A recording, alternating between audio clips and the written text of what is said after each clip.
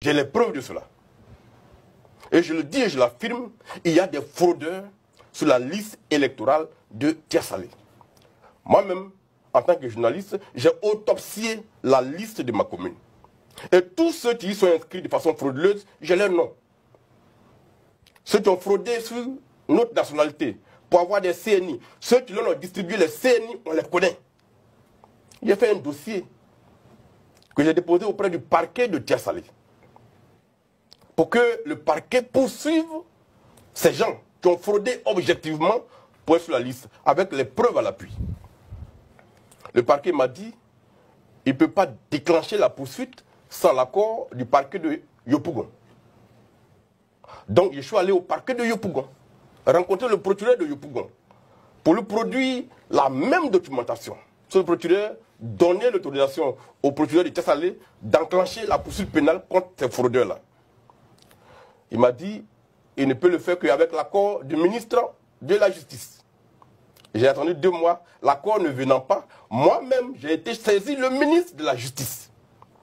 Avec la documentation des fraudeurs, des personnes non ivoiriennes, qui, à qui on a distribué la carte d'identité ivoirienne et notre certificat nationalité. J'ai leur extrait, j'ai les extraits de leurs parents, j'ai les lieux de naissance de leurs parents dans les pays où ils sont nés, j'ai tout ça. J'ai produit tout ça au ministre de la Justice pour qu'il donne l'autorisation au parquet de Tessalé de poursuivre ces fraudeurs et qu'on les radie de la liste de, de Tessalé. Et qu'en plus on les mette en prison pour fraude sur nos nationalités. C'est depuis le mois de juillet 2023 que j'ai saisi le ministre de la Justice de toutes ces preuves-là. À ce jour, il n'a pas réagi. Au point où moi-même, en tant que citoyen, j'ai été obligé de saisir un avocat que je paye pour faire une procédure contre ces individus-là. La procédure est encore pendante euh, devant le tribunal de Tessalé. Et les juges, en quelque sorte, marchent sur les œufs sur la question. Voilà, et quand moi je le dis, je documente et je donne les preuves. il ne faut pas affirmer les choses. Quand on dit qu'il y a 2 millions de personnes non ivoiriennes sur la liste électorale, il faut apporter les preuves. Parce que si l'autorité est de mauvaise foi et que ces personnes sur la liste électorale leur profitent, elles ne feront rien. Mais si chacun, chaque acteur politique, dans sa zone de naissance, dans sa zone d'action, fait ce que j'ai fait là, et saisit un tribunal, en ce moment-là, on a une documentation qui pourrait être des preuves parlantes le jour où il y a un débat national à faire.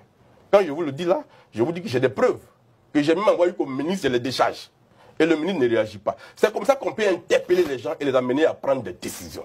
Sinon, vous leur offrez la possibilité de dire, oui, vous dites ça, mais il n'y a pas de preuves. Mais moi, j'ai apporté des preuves, ils ne réagissent pas. Mais là, je peux maintenant, je peux maintenant dénoncer que le ministère de la Justice laisse sur la liste des Tessalés des personnes qui ne sont pas ivoiriennes, qui ont fraudé et avec lesquelles on doit, on a les, pour lesquelles on a les preuves et ils n'agissent pas. Ça, les partis politiques, ça ces éléments-là qui peuvent faire les palabres. Donc aujourd'hui, moi, à Timoko, je suis fondé à dire que la liste électorale de ma commune est truffée de personnes qui n'ont pas le droit d'y être, mais qui y sont. Et j'ai fait toutes les démarches prévues par les lois jusqu'au ministre de la Justice. Donc aujourd'hui, je peux dire que Salé, la liste n'est pas crédible.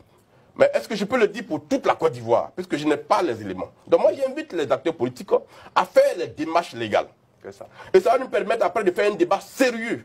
Parce que la CEI elle-même va se rendre compte qu'il y a une difficulté.